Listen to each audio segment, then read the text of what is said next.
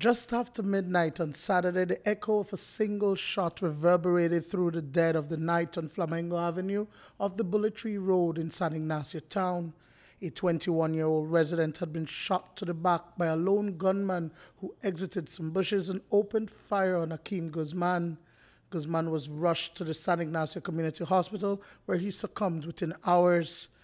On Sunday, June 25, 2017, at about 12:50 a.m., based on information received, police um, responded to the information. They visited a, an address off Flamingo Avenue in San Ignacio Town, where the, a male person identified as Akeem Alexander Guzman, 21 years, Belizean laborer of number 8 8th Street, San Ignacio Town, was seen leaned against the wall of a bathroom building in the yard with an apparent gunshot wound to his back.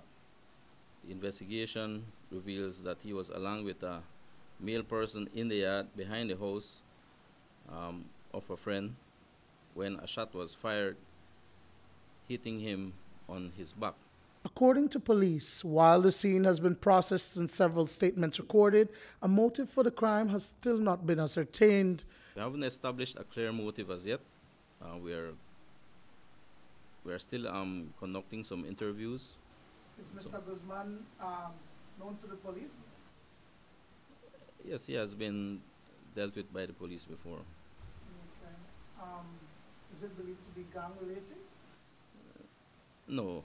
The murder has left the entire family stunned because they spoke to Guzman just minutes before the shooting. According to his brother Oscar, Akeem went to the nearby shop and didn't return. He said that he was going to check the store to um, buy some cigarettes and then he would go home after that and that was the the last time that I saw and heard from him. When did you find out, when did you and your family find out what happened to Akeem?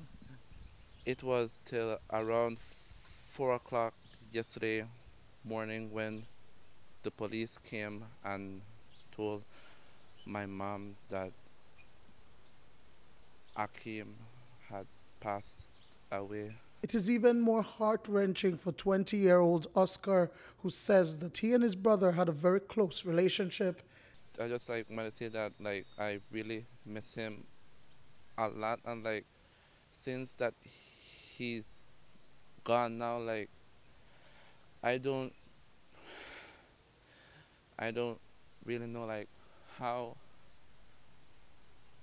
I can cope cope around and like with him.